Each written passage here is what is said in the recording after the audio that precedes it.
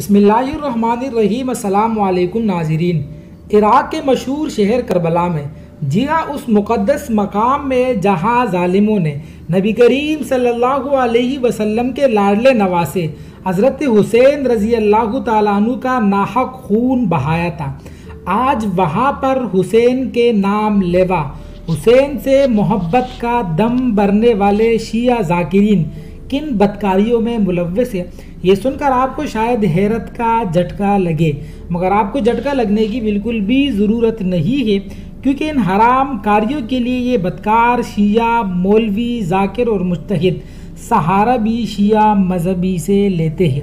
عراق کے مشہور مقدس مقام کربلا میں شیعہ ذاکر نکائے متق کی آڑ میں کس طرح کمسن لڑکیوں کی دلالی اور جسم فروشی کے گھناؤنے دندے میں ملوث ہے۔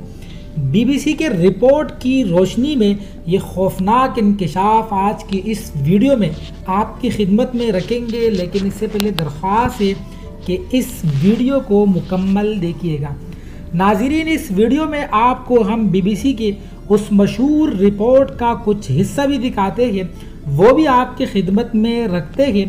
جو گزشتہ دنوں عالمی میڈیا پر بہت زیادہ مشہور ہوا ہے۔ اس ویڈیو میں آپ دیکھ سکتے ہیں کہ بی بی سی کی ایک رپورٹر خاتون عراق کے اس مقدس مقام میں بڑی ہی سمجھداری سے، ہوشیاری سے داخل ہوتی ہے۔ یہ وہ مقام ہے جسے شیعہ مذہب میں بڑا تقدس حاصل ہے۔ پوری دنیا سے شیعہ زائرین اس مقام کو دیکھنے کے لیے آتے ہیں، لاکھوں روپے خرچ کرتے ہیں۔ اور بڑے ہی عقیدت اور محبت سے یہاں پر آتے ہیں۔ اور یہ وہ مقام ہے جسے حضرت حسین رضی اللہ تعالیٰ عنہ کی شہادت کی جگہ بھی کہا جاتا ہے۔ مگر یہاں پر ان کے مذہب کے پیشوا اور مقتدہ لوگ کن بدکاریوں میں اور کن غلازتوں میں ملوث ہیں؟ یہ سن کر آپ حیران ہو جائیں گے اور آپ سر پکڑ کر بیٹھ جائیں گے کہ اس قسم کے بدکار لوگ بھی ہو سکتے ہیں۔ جی ہاں مذہب کے لبادے میں اور اس مذہب کے لبادے میں جہاں پر نکائے متق ہو ایک اہم مقدس فریضہ بھی سمجھا جاتا ہے۔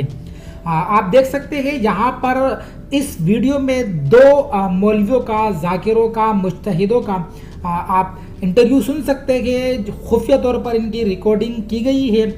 ان میں سے ایک کا نام ہے رات یہ جس کی داڑھی نہیں ہے اور موٹا سا جو آدمی ہے، اس کا نام ہے رات اور جو دوسرے آدمی کے جنہوں نے پگڑی پہنی ہوئی ہے، یہ ہے شیخ سلاوی۔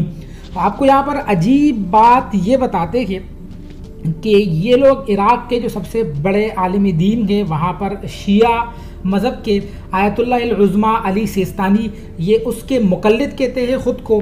آپ یہاں پر دیکھیے، یہ دونوں باقاعدہ جب ان سے سوال کیا جاتا ہے کہ کمسل لڑکی کے ساتھ جسمانی تعلق رکھ سکتے ہیں، نکاح متع کر سکتے ہیں تو اس کے بعد یہ جواب کیا دیتے ہیں؟ حیرت کی بات ہے۔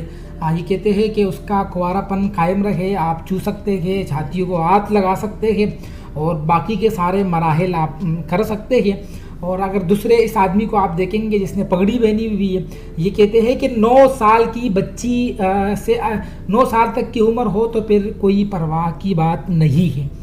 یعنی اگر ایک تھوڑی دیر کے لیے اگر ہم یہ سوچ بھی لیں کہ شیعہ مذہب میں نکاح متا جائز بھی ہے تو کیا اس قسم کی معصوم بچیوں کو نو دس سال کی بچیوں کے ساتھ اس قسم کی غلازتیں؟ اور پھر آپ کو آپ کو یہاں پر عجیب بات یہ بتائے کہ صرف اتنا ہی نہیں، یہ فتوے بھی نہیں دیتے ہیں، بلکہ یہ دونوں حضرات جو کہ منظر عام پر آ گئے ہیں، باقاعدہ دلالی کا فریضہ سر انجام دیتے ہیں۔ اور جب یہاں پر لوگ آتے ہیں، ان سے رابطہ کرتے ہیں، تو یہ انہیں، ان کے لیے لڑکیوں کا بھی انتظام کرتے ہیں۔ اس ویڈیو میں آپ دیکھ سکتے ہیں، یہاں پر ذرا یہ مختصر سا کلپ بھی آپ دیکھیے، اس کا ترجمہ آ رہا ہے یہاں پر۔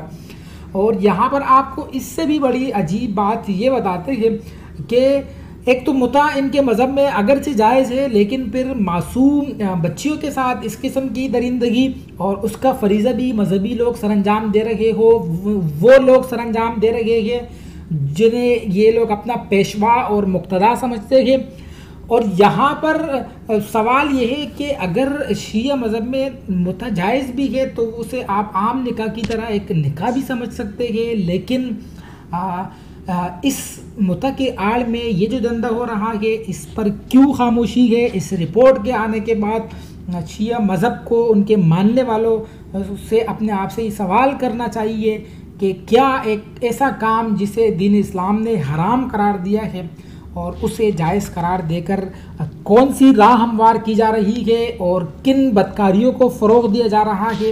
اور اس کے آڑ میں ان کے دین پر اور ان کے مذہب پر مسلط غنڈے، مذہبی غنڈے کیا کر رہے ہیں؟ یہ ایک سنجیدہ فکر رکھنے والے شیعوں کے لیے بہت بڑا سوال ہے۔ ان لوگوں کے لیے قطن نہیں، جو اندھے مقلد ہے اور جو ہر چیز کو ٹھیک کہتے ہیں، جو عقل سے نہیں سوچتے ہیں۔ وہ یہ ویڈیو بالکل بھی نہیں دیکھے۔ اس ویڈیو میں ان کے لیے کچھ بھی نہیں ہے۔ البتہ وہ اگر گالیاں دینا چاہتے تو شوق سے گالیاں دے دے، مگر گالیاں دینے سے حقیقت چپ نہیں سکتی بناوٹ کے اصولوں سے۔ تو حقیقت بالکل بھی نہیں چھپے گی، یہ وہ حقیقت ہے جو بالکل منظر عام پر آ چکی ہے۔ کہ شیعہ مذہب میں جو کہ نکائے متا جائز ہے اگر اسے جائز بھی قرار دیا جائے، اس پر ان کے ساتھ دلیلیں بھی ہو تو ٹھیک ہے، اس پر ہم بحث ہی نہیں کرتے۔ مگر نکائے متق کی آڑ میں ان کے علماء ان کے ذاکرین، ان کے مشتحدین کیا کر رہے ہیں؟ یہ ایک بہت بڑا سوالیہ نشان ہے۔ مقرر عرض ہے کہ یہ سوال یہ ان کے لیے جو عقل رکھتے گئے سمجھ رکھتے گئے جو پڑھے لکھے گئے جاہلوں کے لیے اس سوال سے کوئی واسطہ نہیں، وہ شوق سے اس کام کو کرے اور اس کے جواز کے لیے دلائل بھی ڈھونڈے شاید وہ بھی مل جائے